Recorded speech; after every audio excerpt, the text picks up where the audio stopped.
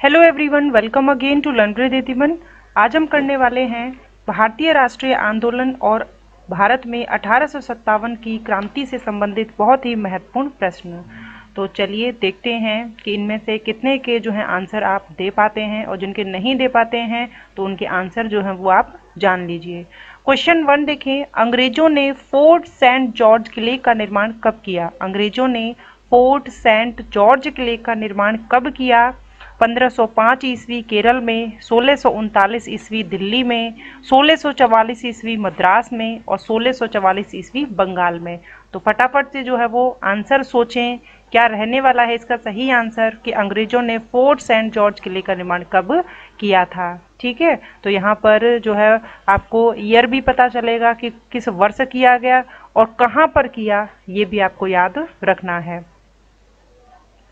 तो यहाँ पर आंसर जो रहने वाला है, वो बिल्कुल सही आंसर है। ऑप्शन सी, सोलह ईस्वी मद्रास में फोर्ट सेंट जॉर्ज का निर्माण किया अंग्रेज़ों ने।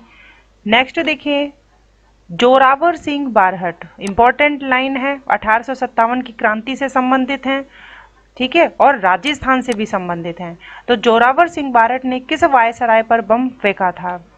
तो बताइए, लॉर्ड कैनिंग पर, लॉर्ड हॉर्डिंग पर, जनरल डायर पर लॉर्ड डलहौजी पर। तो बताइए कि किस पर जोरावर सिंह बारहट ने बम फेंका था अठारह की क्रांति के समय?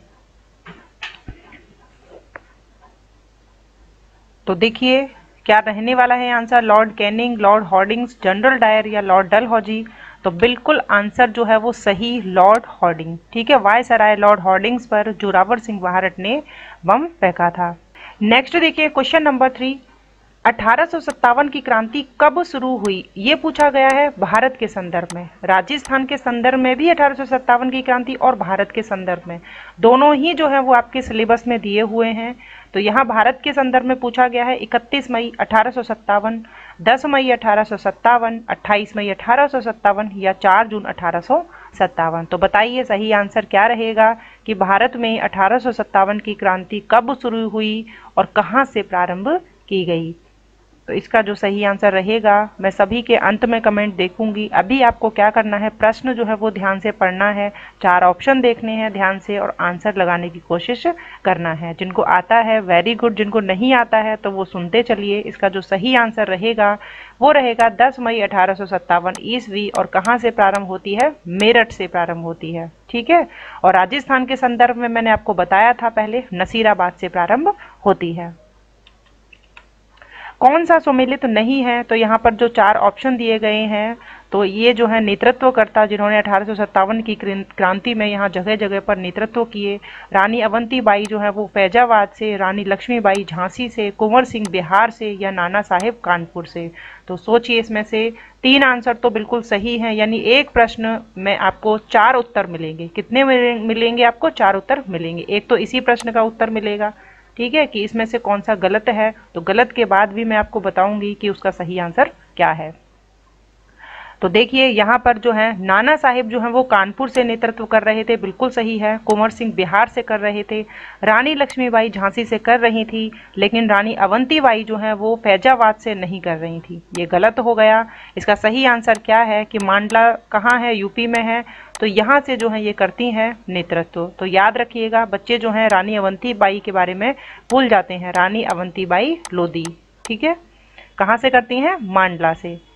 नेक्स्ट देखें, पेरियार के नाम से कौन जाने जाते हैं? पेरियार के नाम से कौन जाने जाते हैं? Dadabhai Naoroji, Swami Vivekananda E V Ramaswamy या डॉक्टर बी आर अंबेडकर तो बहुत ही जो है सटीक नोट से यदि आप लोग पढ़ रहे हैं, अच्छी किताबों से आप जो है अध्ययन कर रहे हैं तो आंसर आपको पता होगा, क्योंकि आपकी ही किताबों से उठाए गए ये सभी प्रश्न हैं। पेरियार के नाम से किसे जाना जाता है? दादा भाई नरोजी को जाना जाता है। बिल्कुल गलत है। स्वामी विवेकानंद इनको भी नहीं जाना जाता, ना ही डॉक्टर बी आर अंबेडकर को। आंसर क्या है इसका? E V Ramaswamy question number six देखें। गुलामगिरी नामक पुस्तक के रचयिता कौन थे? एनी बेसेंट गोविंद गिरी ज्योतिबा फूले या सावित्री बाई फुले। तो बताइए इसका सही आंसर क्या रहेगा? तो ये सभी प्रश्न जो हैं वो आपकी किताबों से ही उठाए गए हैं, ठीक है? तो इम्पोर्टेंट हैं क्योंकि कोई भी प्रश्न जो आपके एग्ज़ाम में पूछा जा सकता है। तो गुलामगिरी नामक पुस्तक जो है वो किसके द्वारा रचित है? एनी बेसेंट के द्वारा, गोविंद गिरी के द्वारा, ज्योतिबा फूले या सावित्रीबाई फूले। तो जिन्होंने पढ़ाई नहीं की है तो वो गिरी शब्द सोचकर जो है गोविंद गिरी को भी लगा सकते हैं। तो जो कि आंसर रहेगा आपका बिल्कुल गलत। यहाँ जो सही आंसर रहेगा वो है ज्योतिबा फूले। ज्योतिबा फूले ने गुलामगिरी नामक पुस्तक की रचना की। कौन सा सुमेलित नहीं है? तो अब एक और ऐसा प्रश्न जहाँ आपको चार उत्तर मिलेंगे। एक ही प्रश्न में, बंगाल विभाजन 1906 में हुआ, मुस्लिम लीग की स्थापना। यहाँ पर लिखा है स्थापना।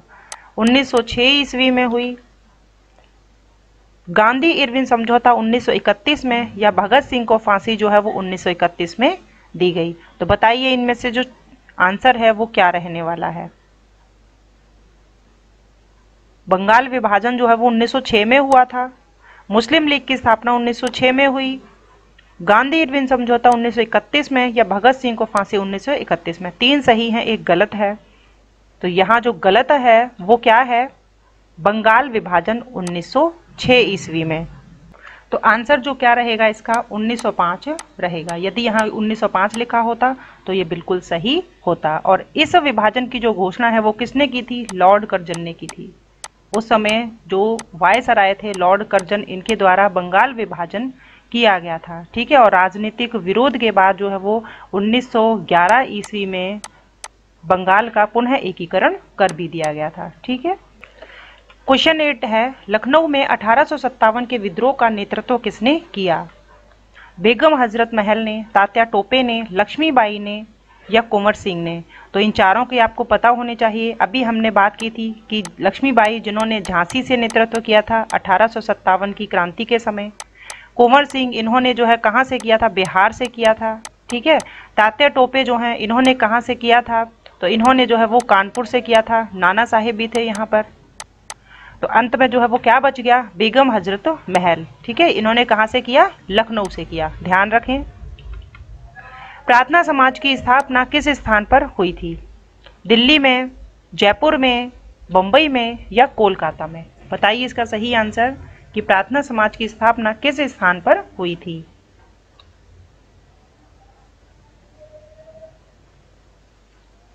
तो क्या रहेगा? ए बी सी डी चार में से जो है वो ऑप्शन ऑप्शन जो है वो आप लगाएँ और देखें कि जितने प्रश्न आज हम करने वाले हैं, उसमें से कितने आपके सही हैं, कितने गलत हैं। तो ये टेस्ट जो भी आप देते हो तो जहाँ पर आपको ऐसा लगता है कि इस टॉपिक में जो है हम कमज़ोर हैं तो उस टॉपिक को जो है वो आप दोबारा से तैयार करें, अच्छे से तैयार करें, ठीक है? तो यहाँ जो आंसर रहेगा वो है बम्बई प्रार्थना समाज की स्थापना जो है वो बम्बई में होती है। किसके द्वारा की जाती है? आत्माराम पांडुरंग के द्वारा की जाती है। ठीक है? ध्यान रखें। अगला देखिए, कौन सा कथन सही नहीं है? श्याम जी कृष्ण वर्मा ने लंदन में सावरकर, वीर सावरकर की सहायता की थी। गांधी जी ने अपनी आत्मकथा सत्य के साथ मेरे प्रयोग हिंदी में लिखी। ब्रिटिश संसद में अठारह सौ अट्ठावन में कानून पास कर ईस्ट इंडिया कंपनी से अधिकार छीन लिए। और डी ऑप्शन देखिए, कांग्रेस का प्रथम अधिवेशन 28 दिसंबर अठारह ईस्वी में हुआ। तो इन चारों में से तीन बिल्कुल सही हैं। तो यहाँ पर भी देखिए, काफ़ी जो है इन्फॉर्मेशन आपको यहाँ मिलने वाली है। ठीक है? ये प्रश्न जो है वो भारतीय राष्ट्रीय आंदोलन से उठाया गया है इसी चैप्टर से। तो इसका जो सही आंसर रहेगा वो क्या रहेगा? कि श्याम जी कृष्ण वर्मा ने लंदन में, कहाँ पर? लंदन में वीर सावरकर की सहायता की थी। बिल्कुल सही है। ब्रिटिश संसद में अठारह में कानून पास कर ईस्ट इंडिया कंपनी से जो है वो अधिकार छीन लिए थे। अठारह सौ सत्तावन की क्रांति को देखते हुए, ठीक है? कांग्रेस का प्रथम अधिवेशन जो है वो 28 दिसंबर अठारह मुंबई में होता है। पहले पूना में तय हुआ था, लेकिन पूना में जो है वो बीमारी फैलने की वजह से बाद में इसको बम्बई शिफ्ट किया गया। तो प्रथम अधिवेशन होता है यहाँ 28 दिसंबर अठारह सौ पचासी को। तो गलत क्या है यहाँ पर? ये गलत है कि गांधी जी की जो आत्मकथा है, सत्य के साथ मेरे प्रयोग, ये बिल्कुल सही है, लेकिन इन्होंने हिंदी में नहीं लिखी थी, बल्कि इनकी जो भाषा थी, गुजराती मातृभाषा तो उसमें इन्होंने लिखी। इलेवन क्वेश्चन है, सत्यार्थ प्रकाश की रचना स्वामी दयानंद सरस्वती ने की। कब और कहाँ की? 1873 में अजमेर में की 1874 उदयपुर में की 1880 भीलवाड़ा में की, या फिर जयपुर में की 1883 में। तो बताइए इसका जो सही आंसर रहेगा, वो क्या रहेगा?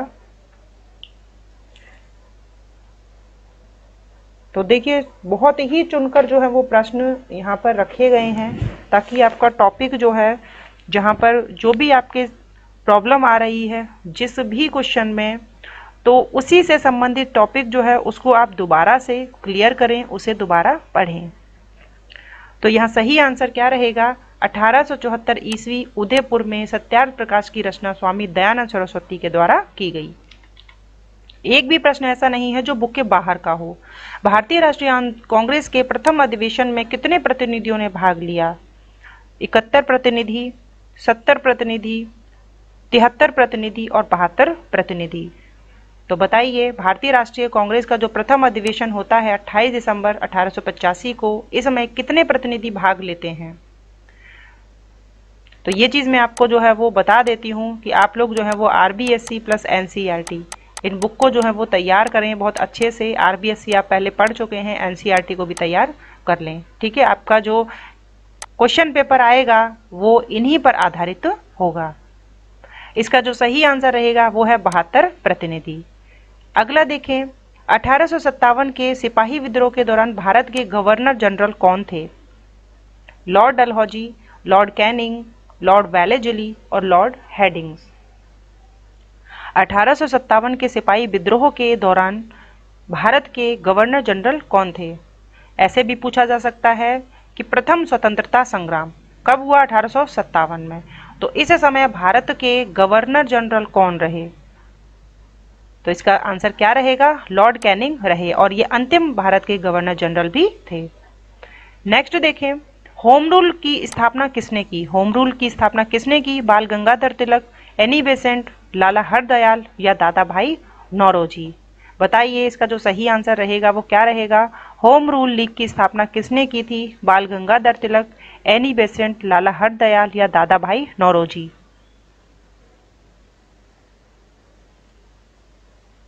तो देखिए, यहाँ पर जो सही आंसर रहने वाला है क्वेश्चन 14 का, और वो है बाल गंगाधर तिलक। ठीक है? चलिए नेक्स्ट देखिए, आप क्वेश्चन के आंसर लगाते जाइए लास्ट में मैं सभी के देखूँगी। निम्न में से किस आंदोलन का संबंध जो है वो गांधी जी से नहीं था? यानी तीन आंदोलन का तो है स्वदेशी आंदोलन, खिलाफत आंदोलन, भारत छोड़ो आंदोलन या व्यक्तिक सत्याग्रह तो भारत छोड़ो आंदोलन का तो सभी जानते हैं कि गांधी जी का महत्वपूर्ण रोल रहा भारत छोड़ो आंदोलन के वक्त। अब बताइए कि इन तीनों में से कौन सा सही नहीं है, गांधी जी से संबंधित नहीं है जो?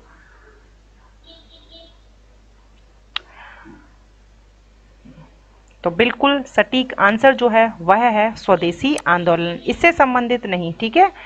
क्वेश्चन 16 देखें, अठारह सौ सत्तावन ईस्वी की भारतीय विद्रोह प्रारंभ हुआ। अठारह सौ सत्तावन ईस्वी का जो भारतीय विद्रोह है, वो कहाँ से प्रारंभ हुआ?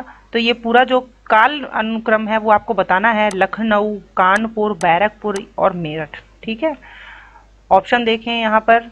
चार ऑप्शन है आपके पास। तो बिल्कुल यहाँ पर जो क्रम है, वो लगाइए। सबसे पहले जो है, वो भारतीय विद्रोह प्रारंभ कहाँ से हुआ?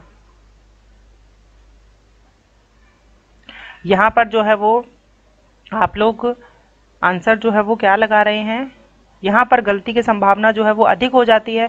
देखिए, यहाँ जो आंसर रहेगा, वो रहेगा तीन, चार, एक, दो। यानी सबसे पहले बैरकपुर छावनी जो है, यहाँ से विद्रोह प्रारंभ होता है, ठीक है?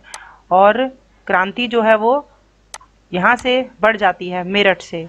उसके बाद जो है होता है लखनऊ और उसके बाद कानपुर। ये आपको ध्यान रखना है, ठीक है? कई बच्चे जो है सबसे पहले मेरठ को लगा देंगे।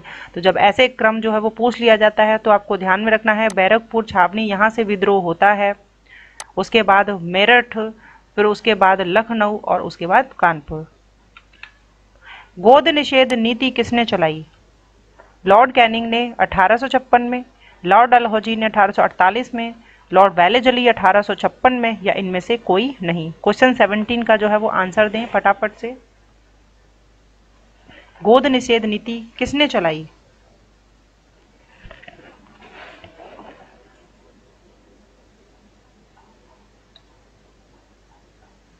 तो बताइए इसका जो आंसर रहेगा वो क्या रहेगा? लॉर्ड कैनिंग रहेगा लॉर्ड डलहौजी रहेगा वैलेजली कौन रहेगा इसमें? तो गोद निषेध नीति बोलें, या फिर अगर मैं इसको हड़प नीति बोलूँ, बिल्कुल सही रहेगा। इसका जो आंसर रहेगा, लॉर्ड डलहौजी, जिन्होंने 1848 ईस्वी में हड़प नीति या गोद निषेध नीति चलाई थी, ठीक है?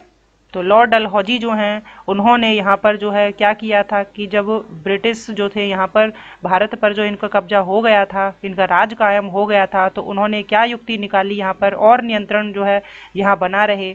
कि राजा जो कि जिनके संतान नहीं है तो वो किसी और को जो है वो गोद नहीं ले सकते। ठीक है? गोद निषेध, यानी गोद नहीं लेना। ठीक है? और यदि वह किसी को गोद लेते भी हैं तो वो राज्य का उत्तराधिकारी नहीं बन सकता है। तो यहाँ पर अंग्रेज़ जो थे, वो बहुत ही चालाक थे और ऐसी ही नीतियाँ जो है वो भारत में उन्होंने लागू की। महात्मा गांधी को सर्वप्रथम राष्ट्रपिता किसने कहा? राष्ट्रपिता के नाम से किसको जाना जाता है? महात्मा गांधी को सभी जानते हैं लेकिन इनको कहने वाले कौन थे? जवाहरलाल नेहरू वल्लभ भाई पटेल श्री राजगोपालाचारी या सुभाष चंद्र बोस। बत, बताइए इसका आंसर क्या रहेगा? क्वेश्चन 18 का कि गांधी जी को सर्वप्रथम राष्ट्रपिता किसने कहा?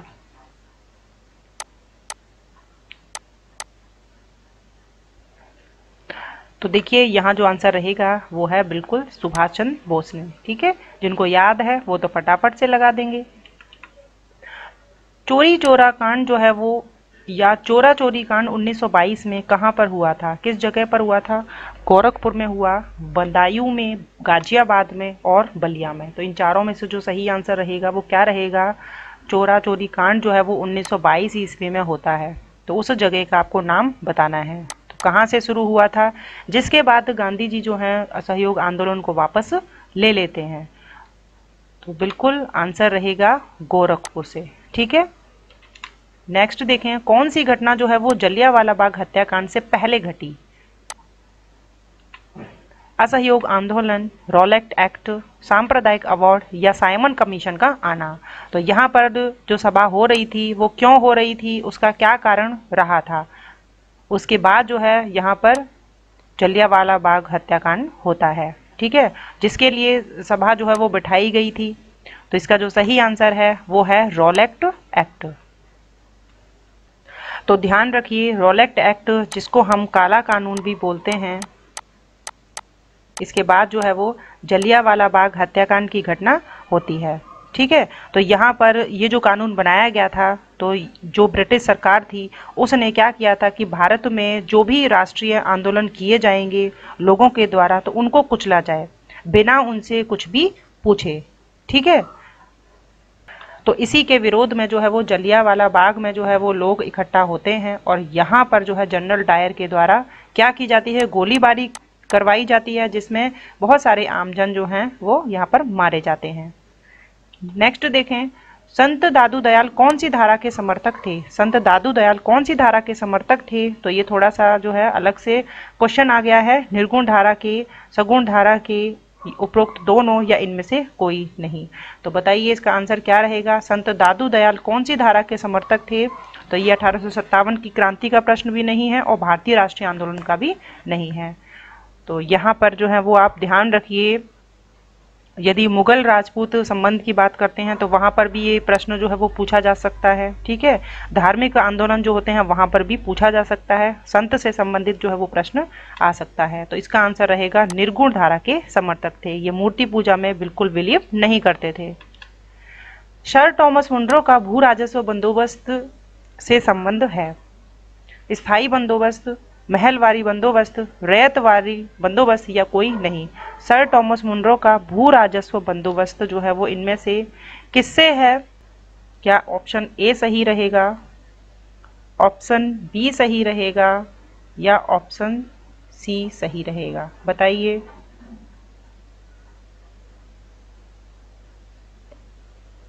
तो देखिए, यहाँ पर जो आंसर सही रहने वाला है, वो है रियतवाड़ी बंदोबस्त। ठीक है? नेक्स्ट देखें। हमीर रासो ग्रंथ किसके द्वारा रचित है? हमीर रासो ग्रंथ किसके द्वारा रचित है? नयन चंद सूरी हमीर सिसोदिया, जोधराज या हमीर देव चौहान। जिस स्थान से संबंधित है, इसको कई बार आप कर भी चुके हो। मैंने आपको डिटेल में हर चीज़ बताई भी है। तो यहाँ पर जो है, ये प्रश्न जो है, वो एक अलग से ये भी आ गया है। हमीर रासो ग्रंथ किसके द्वारा रचित है? कई बार बताया है, जोधराज के द्वारा रचित है। तो इस तरीके से आज हमने अठारह सौ सत्तावन की क्रांति से संबंधित प्रश्न किए हैं और राष्ट्रीय आंदोलन से संबंधित प्रश्न किए हैं। ठीक है? तो लगभग जो है, हमने कई प्रश्न कर लिए हैं और यहाँ पर अगर हम नंबर की बात करें तो 21 प्रश्न हमने किए हैं, दो प्रश्न जो कि आपके राजस्थान जीके से संबंधित रहे हैं। तो चलिए करते रहिए तैयारी इसी तरीके से, मिलते हैं नेक्स्ट वीडियो में। Thank you.